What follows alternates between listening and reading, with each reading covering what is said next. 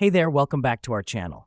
Today we're diving into a common issue that many BDO customers encounter how to fix ATM card not valid BDO. The first thing to do is check the expiration date on your BDO ATM card. If your card has expired, it may show as invalid when used. Ensure your card is still within its validity period.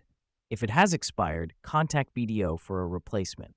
Next, confirm that your BDO ATM card has been properly activated. Sometimes, new cards need activation before they can be used. Check if you followed the activation process provided by BDO when you received your card. Make sure there are sufficient funds in your account linked to the ATM card. Insufficient balance can sometimes lead to the card being flagged as invalid during transactions. Check your account balance through online banking or by visiting a BDO branch. If you've checked the above steps and your BDO ATM card is still showing as not valid, it's time to contact BDO's customer service.